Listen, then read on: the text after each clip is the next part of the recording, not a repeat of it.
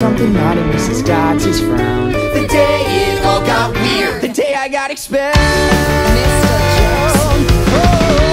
Mr. Jackson. Mr. Jackson. Please see me by the